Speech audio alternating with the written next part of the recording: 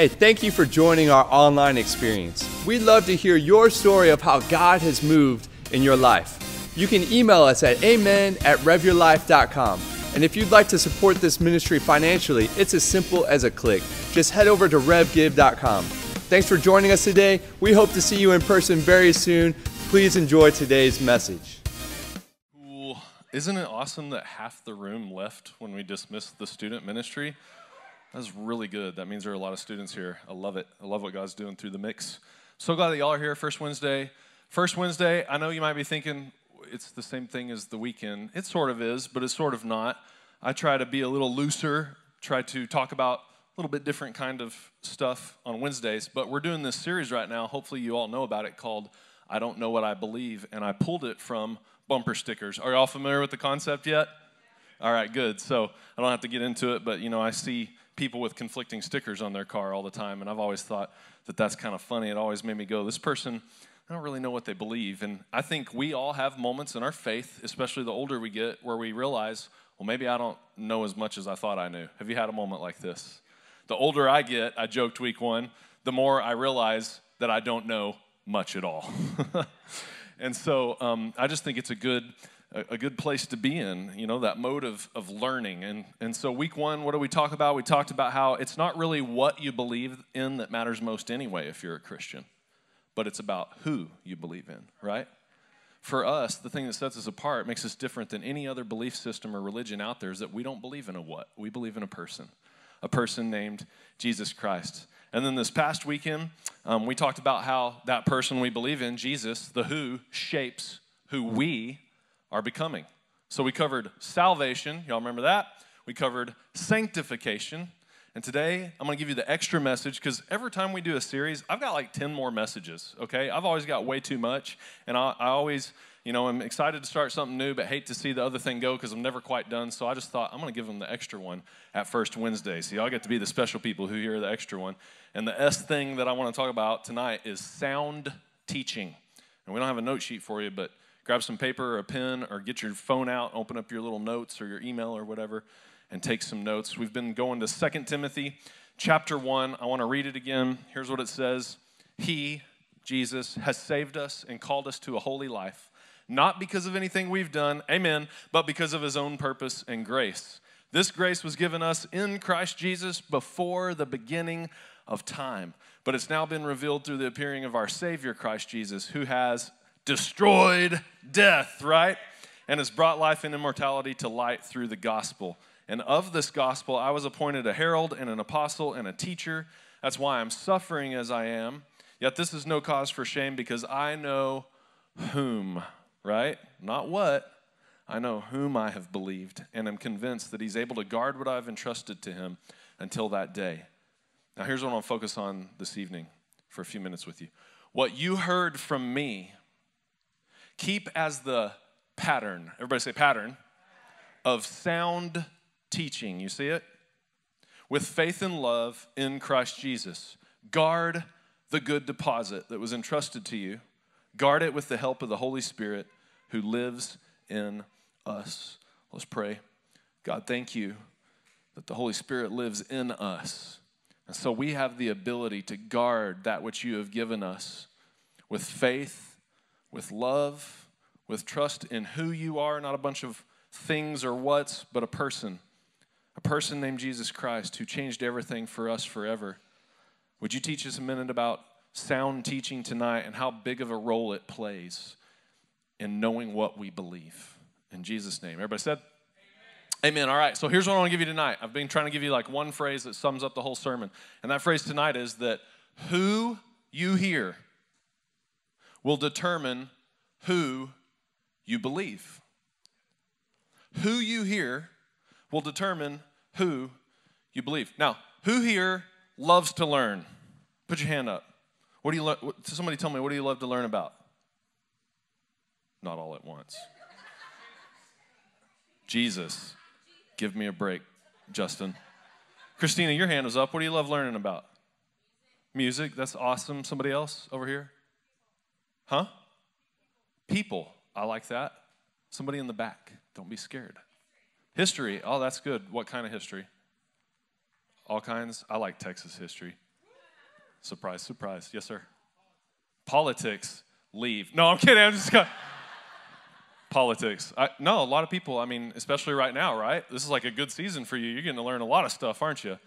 Y'all have heard my joke about politics, right? You, you haven't? Politics? You don't know what politics is? It's the, the phrase poly, meaning many, and ticks, meaning blood sucking insects. That's, sorry. Hey, you're going to love this. We're going to do a series starting in May called America. And I got a message written already that I'm going to share called Five Things I Want to Say to Our Next President. All right, but let me get back on topic. So, you love to learn. Anyone who didn't love, uh, love to learn, anyone who didn't raise their hand, you're, you're the kid that liked to beat up the learners in high school, right? That was the rest of you, okay? I love to learn. Leaders or learners? If I've learned anything since becoming a leader, it's that I've got to always be learning.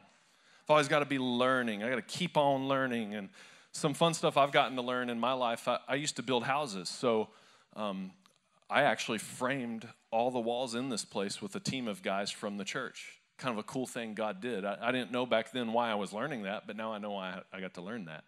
Uh, my son and I built a treehouse last week, and I wouldn't have known how to do that if I had never learned about building houses. Um, when I gave my life to Christ, I learned a lot about my faith really, really fast. Anybody remember those early days when you're just thirsty and it's like jet fuel, right? You're just learning fast. I remember when I went to college to get my degree and studied the Bible, and I learned on a, on a new level, really, about who God was and some of the history behind it, and you know a lot about the church that I did not know. And um, today, I like to learn about people, like Michelle said. I, I, love to learn about you guys, about Revolution Church. I, I, love to learn about church in general.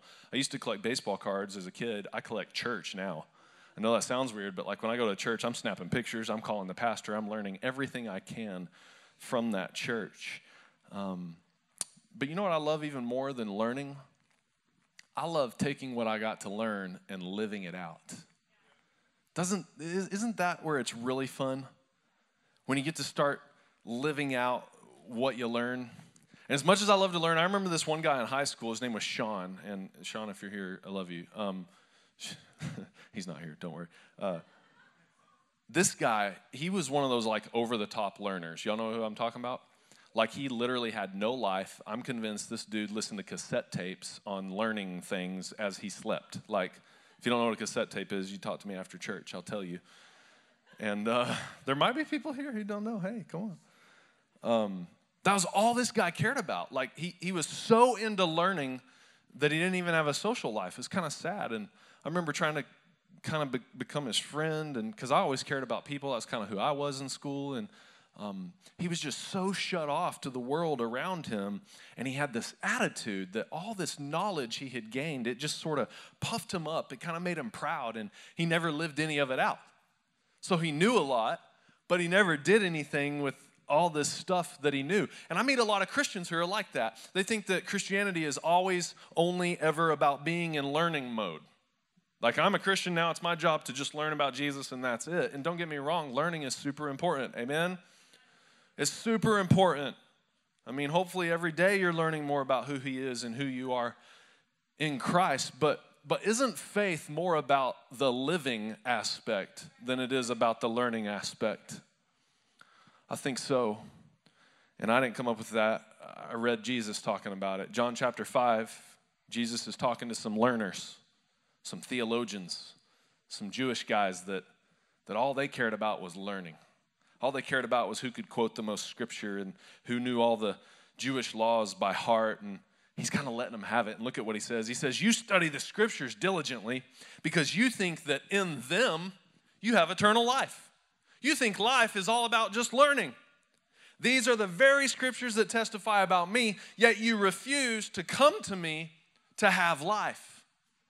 Jesus is telling us something about life. He's telling us you can't learn your way through every issue, that there's some issues you're going to have to live your way through. Amen? that you're going to have to live through some stuff. But before we started Revolution Church, I was an executive pastor at a church in the Austin area called the Connection Church. Uh, Dr. Cole Phillips, he spoke here a couple times. Some of you remember him as a pastor there. And I remember when I met Pastor Cole, I just had such a deep respect for the man because he had a, a very good understanding of God's word, but also because I had never met anyone like him who lived out everything he understood so well. I remember when I first met him trying to kind of shoot holes in it, see if I get him to trip up or whatever. I couldn't do it. Dude was a rock. Now, we all have our moments, but I mean, he just understood how to live his, his faith out. I, I was blown away by his ability to apply the word of God. Anybody know somebody like this? Aren't those the people you want to be more like? It's the same thing that attracted me so much to my wife. When I met her, she was just so good at living out her faith. Her faith was, was vibrant. You could just see it in her. And, and what Cole and, and my wife had that I didn't have at the time was they had understood how to take their faith from just their head down to their heart and also to their hands, like I talked about with Marcus volunteering a while ago. And these people taught me this. And most of the Christians that I admire, it's not because they pastor a really big church. It's not because they've been a Christian so much longer than me. Some of them have been Christians shorter amount of time than me. It's not because they have the biggest collection of funny Jesus t-shirts, okay? Or no more Christian songs. It's just that they live their faith out. They, they, just, they just have this passion to live it out, what they, what they believe.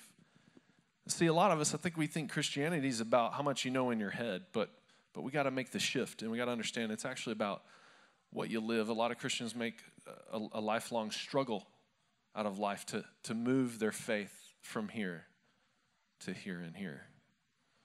And this is what Jesus has called us to do. Um, I took a class in college because it was required. I had to have one science credit, and I guess they want guys studying the Bible to remember there's a thing called science or whatever. But and the only one offered that semester was botany. I hated it so much, y'all.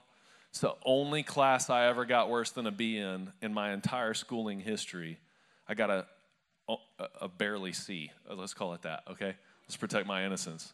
I mean, I barely squeezed by, and um, it, just to show you how bad I was at this, like I'm lucky I even remembered to call it botany. I usually call it herbology. And people make fun of me and they're like, What is that, Zak? Uh, the study of herb?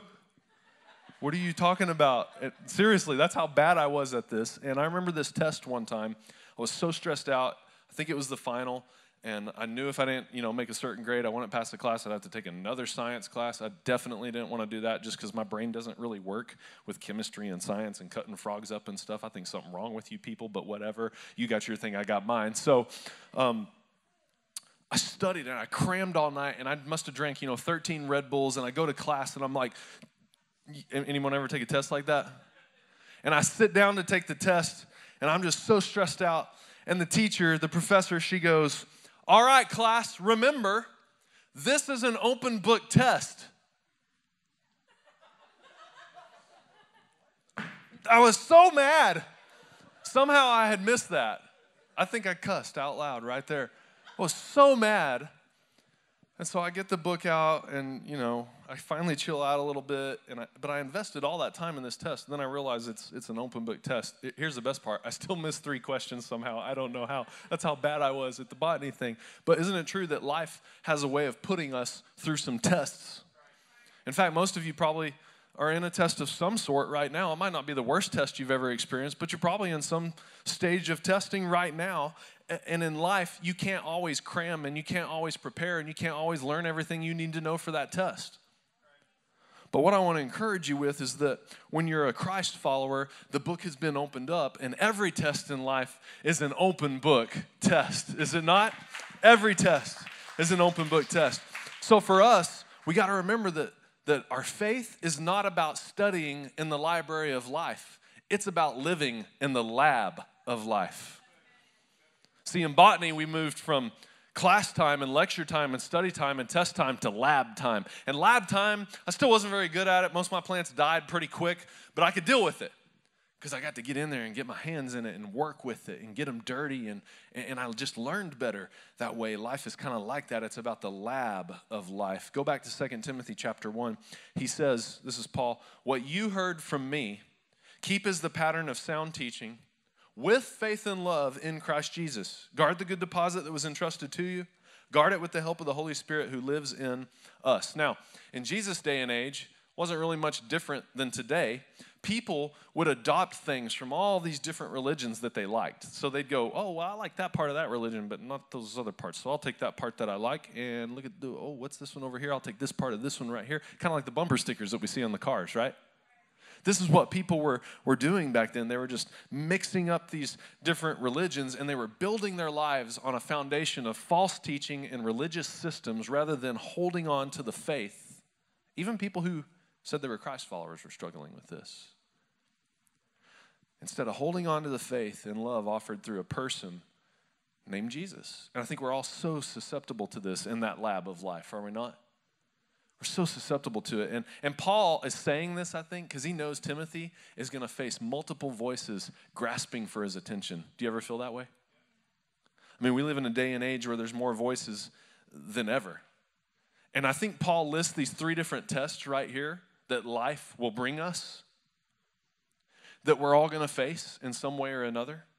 And he's warning Timothy, hey, here's, here's the test. But he's also encouraging him and saying, but don't worry, it's an open book test and you're going to pass it. So I want to give you these three tests because I think it'll help you. Test number one is this Whose voice will you listen to? Whose voice will you ultimately listen to in life? Paul said, What you heard from me. Now, Timothy heard a lot from Paul over the years. Timothy watched Paul set up all these churches. Timothy watched Paul get beaten several times. Timothy saw Paul persecuted. He watched Paul go to Jerusalem and work through some church junk. And, and Timothy got these letters from Paul. Paul was a primary voice, Paul, y'all, for Timothy, all right? A primary voice for him. How about you? Whose voice will you listen to? Because life brings tons of voices, especially today where every idiot has a blog and a social media account, okay? And anyone can post anything to YouTube if they have a cell phone and make it look really, really good and sound amazing, okay? And sometimes what happens is in the middle of all the endless screaming voices, we grab some stuff that maybe we don't need to grab, and then we are brought to a place where we go, wow, I don't know what I believe anymore. And oftentimes it's so unnecessary. And it's brought just because we're listening to the wrong voice. We're embracing the wrong voice. And it's hard because the voices are loud, right? I mean, they are, they are so loud, screaming for our attention, getting us off track. Find ourselves listening and responding to voices in life rather than listening and responding to God's voice, the creator of life. In my lab of life, I want to listen to the one who created this life. And it makes me think of this kid that started coming to Revolution Church about three years ago. He showed up and he's so confused. And back then, the church wasn't quite as big. I could meet with more people, and I got to sit down and I got to talk with this kid. We didn't have a student ministry at the time either. That's fairly new around here. And, and I started talking to him, and, and he said that he, he kind of sort of believed in God at one point, and you know he, he thought he was making progress and maybe going to give his life to Christ. But then the guys he was hanging out with sent him a link to a YouTube video. I was like, "Well, tell me about this YouTube video." So he told me all about it. And, and he was so convinced that everything in this eight minute YouTube video about how God is not real was actually the truth. And part of his reasoning was one, that his friends are good guys that he likes and sent it to him, and two, that 5,000 people had watched it. I was like, wow, 5,000 people watched it. Man. And this kid, he, he was always kind of a, you know, a little rebellious. Some of you understand that. You know, you, you kind of just were bent that way or whatever. You kind of like being a little rebellious. And, and what I was ultimately able to help this, this guy realize is that he was actually not rebellious at all. He was just the average of his five closest friends. He was just doing exactly what they do, you know? And I was able to help him kind of work through some of his questions and he started to grasp and understand the reason he was doing drugs. I forgot to mention that. The reason he was making really bad decisions in life, the reason he was running from God was because he just had the wrong voices speaking to him all the time. And one day he said, I, I'm going to be a real rebel now, Zak. I'm going to embrace the message of Jesus. And I got to lead him to Christ right there in Starbucks that day. And his life has been forever changed eternally, but also right here, right now. Why? Because he, he started listening to the right voice, the teaching of Jesus Christ. That's the right voice. He got the right voice and it changed everything. What voices do you have? We get voices from all over the place. Maybe you're raised in a family where you weren't affirmed very much. It's not that they were really mean to you or anything, but you just don't feel like they really believed in you. Or, or maybe you had somebody in, in high school that called you something or said something about you or started some nasty rumor about you or whatever. Maybe there's somebody in the workplace that's always talking down to you and making that job more difficult for you. Ultimately, you're feeling like you're a nobody and you'll never be anything. Just realize as a Christ follower, you get to choose the voice that will be the ultimate in your life in directing you. And your choice is to listen to God's voice or some other voice. It's your choice. And what we hear often determines what we do. So the right voices are so important. And this is one of the most major things that I see new Christians do that, that drags them backwards and, and out of the church almost as quickly as they got in to a relationship with Jesus. It's that they don't have the right voices in their life. And so they give their life to Christ, but they never take any other steps, like getting some other friends. You don't have to tell your old friends that are still going to the club and backing that thing up, see you later, you guys are the devils. You don't have to do that. But maybe they don't need to be the primary voice in your life, right? And so, who's that primary voice? And then think of this, and, and this is what's got to ground you all the time. We kind of hit on it last week, but God says you're created in His image, right? You know what that means? It means you're valuable, it means you have intrinsic value. And then think about Jesus. What did He do? He left His throne in heaven to come down here to earth to radically rescue you and me. That shows that your worth, your value is infinite. His love for you. Which voices are you going to embrace? Which voices are you going to reject? Test number two what pattern will you live by? What pattern will you live by? Because the right voices, one way you'll know you have the right voices is the pattern will be right. You'll start to see some new patterns in your life. My, my wife sews. Any other lady sew? It's kind of a lost thing. Not many do it anymore, but she likes to sew, and she'll go to Hobby Lobby and she'll look at patterns for two hours. Drives me crazy.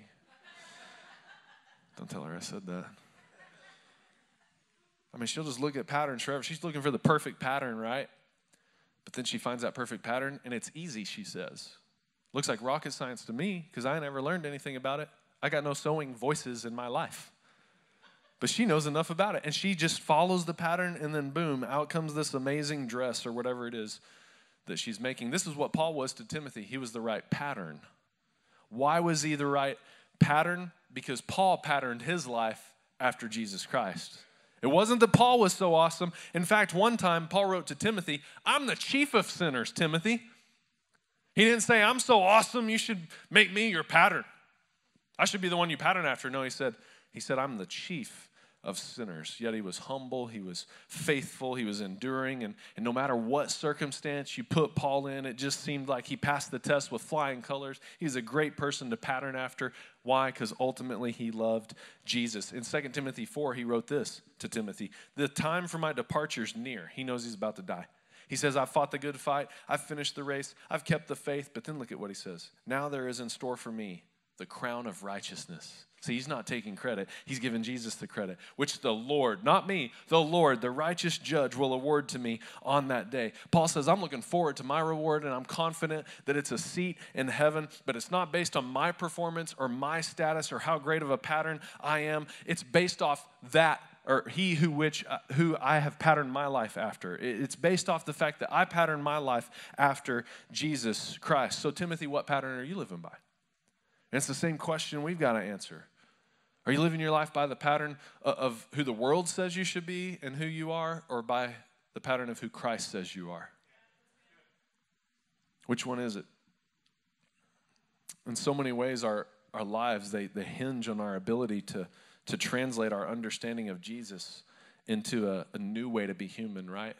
Into a distinct way of living. For instance, Jesus says, you know, be generous to others. The world says, no, no, no, get all you can, can all you get, sit on the can, don't share any of it, right? That's what the world says. Jesus says, forgive 70 times 7, infinitely. Drop the F bomb, forgiveness, as many times as it takes. Just keep on forgiving and forgiving. And the, the world says, why you let him do you like that? Hold a grudge, lord it over him. Jesus says, live revolutionary faith. The world says, just go and do what feels good. So you got to choose what pattern you will live by. The question for us here is when people look at you, did, did they see the pattern of Jesus? Third test what passion will you live for? What passion will you live for? I'm going to read Paul again. 1 Timothy. I'm sorry, 2 Timothy. Is it First Timothy? Second Timothy. I should know that by now. Chapter 1. Sorry, preacher's not perfect. Here we go. Says, What you heard from me, keep as the pattern of sound teaching. There's a pattern. With faith and love. There's the passion. In Christ Jesus. Guard. Everybody say, guard. Do you guard things that you're not passionate about? Guard the good deposit that was entrusted to you. Guard it how? With faith and love in Christ Jesus. You guard what you're passionate about. But how do we do that? How do we guard what we're passionate about with faith and love in Christ Jesus? Well, it starts by remembering that our faith is a lot less about what we believe and a lot more about who we believe in and how we are to be devoted to that who that we believe in. To be devoted to Him, we got to be passionate, right? About our relationship with Him and who He is in our life. To be passionate about, about who He is, that means He's got to be the primary voice in our life. What's your passion in life? One time, some guys asked Jesus, What's the greatest commandment? And He said, It's easy love God and love others. Love God and love people. Love God and, and love your neighbor as yourself. Jesus is trying to get them to engage their heart, right? Not just their hands, not just their head. He, he's trying to get them passionate about God and about people. And the greatest learning experience for me in my life so far about passion has been being a, a dad. A dad. A parent, how many parents are in here? It looks like there's a lot of parents. Okay, a lot of parents in here. Parents, um, have you ever had a perfect season as a parent? No? I actually have. You want to hear about it? I remember I had a perfect season as a parent. It was when my first kid, Cooper, my son, was still in his mother's womb. I was a great dad. I was amazing. Oh my gosh. And then Cooper made his entrance into the world, and the doctor was holding these scissors, and he said, Hey, you want to cut the cord? And I was like, Uh, yeah, I'll do it. And he, he hands me the scissors, and I'm not kidding. I start to go like this, and I guess it was her vantage point or something, or the fact that she had just pushed out a baby. Amber goes, Don't cut his toes off. she screamed that right there. Everybody jumped. I jumped. I was like, I was doing fine. Now I'm all stressed out that I'm going to cut the kid's toes off. I'm going to give him a big scar across his abdomen or something. 16 years later, he's in the locker room after the football game. Whoa, what happened to you, dude? Oh, my dad had these scissors. I'm sorry. So I'm freaking out, right? And finally, the doctor kind of holds it, and I get steady again, and I cut the cord. And I was so exhausted after that delivery, y'all. wow, that's tough. Hard work. I had to go rest. I like that the ladies laughed at that. That's good. But see, ever since then, parenting has been a struggle for me. But that was a good season while it lasted. All two minutes of it, it was glorious. And then I remember they handed him to me. And he was born five and a half weeks early. His lungs weren't fully formed. He had some problems. We knew we were going to be in the hospital a, a while and, and have to watch him struggle some. And they handed him to me, and I knew I wasn't going to get to hold him long, and I was overwhelmed with this crazy sense of inadequacy, knowing, wow, all the parenting books I read and the classes that I took, Daddy and Me, and all this stuff, like it helped me a little bit, but now it's time to go into the lab. The lab just started. And I remember thinking there was no way I would have been able to fully prepare for this. But then a split second later, I remember as I was praying the first time ever holding my son, I remember at the same time as I was feeling all this inadequacy and, and worried and scared, I felt this other thing also rising up inside of me for my son. It was passion. Because I remember thinking, it doesn't matter that I don't know anything. I love this little boy so much, we're gonna make it. even, I, even if I get it wrong a thousand times year one, we're going to be okay. Because I got so much love for him. I got so much faith that God's going to do something great for him. As long as I get to hold him, as long as I get to be his dad, we're going to be good. And then five years later, we had a little girl. That was like a thousand times worse, y'all. I mean, I just was melting that time. Here's what I want to tell you about that, and then I'll be done. Our Heavenly Father, He created us. And when He did, initially, He said, I got, I got a rule don't eat from that one tree. And we blew that one, right? So then He gives the law to Moses. It's like 600 and something rules. And we blew that one. He sends Elijah up Mount Carmel to reveal his great power. We fail that test. We, we forget how powerful he is. And we could go on and on and on. And, I would say to this day, that sinful, dead, dying part of us that's not the truth about us anymore if we're in Christ um, kind of makes us inherently suspicious to some degree of God's word. Have you ever felt that tension? Where sometimes you go, well, I don't know what I believe now. And, and, and it makes us so susceptible to all of these abundant life robbing beliefs and opinions out there that are surrounding us all the time, screaming for our attention. But the heart of our God, the passion of our God, it's so good, it's so perfect that even when we fail a thousand times, He pursues us with His passion because He loves us anyway. So He sent Jesus Christ to die on a cross for us. Amen. And so God decided to take the word it's one of the nicknames for Jesus. The word, right? The law, the learning, the knowledge from heaven and make it flesh. John 1:14 the word became flesh and made his dwelling among us. We've seen his glory, the glory of the one and only son who came from the Father full of grace and truth. Why did God do that?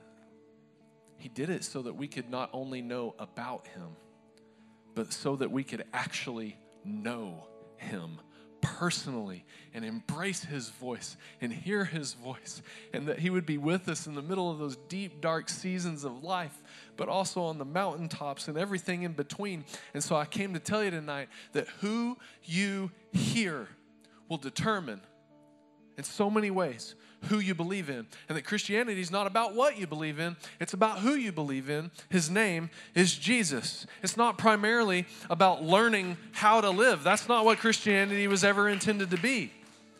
It's about listening to his voice and moving from learning to, to a place where you are living with Jesus. Because check this out there are so many voices out there, right? But only one voice, one voice can bring life. It's the voice of Jesus Christ. So let's hear our voice. Let's hear his voice resonated as we speak. Let's not just hear his voice, let's speak. Let's, let's be his voice. Amen? Let's be his hands and his feet as we live our life based upon the solid rock, the foundation, Christ Jesus. Let's build our faith. Let's let's let's trust him. Let's let's remember it's about a person, not about a bunch of stuff. Let's learn about the stuff. Let's learn about the what. Let's learn more of the things and more of the verses and, and all of that. But above all else, let's press into a person. Would you bow your head and close your eyes? And I just want to pray like this. Jesus, thank you that you passed the test for us.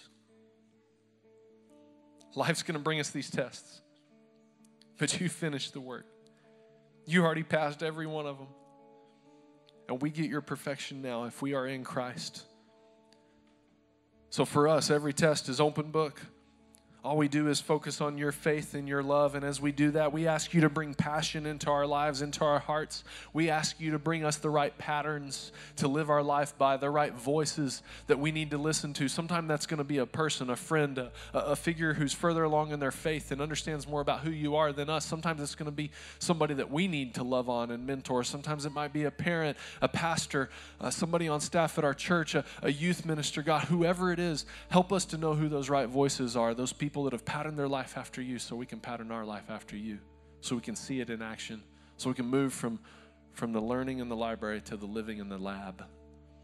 Would you do that for us, Jesus? We give you our lives in every way. We thank you for a brand new start. In Jesus' name. Everybody said? Amen. All right. Thank you so much.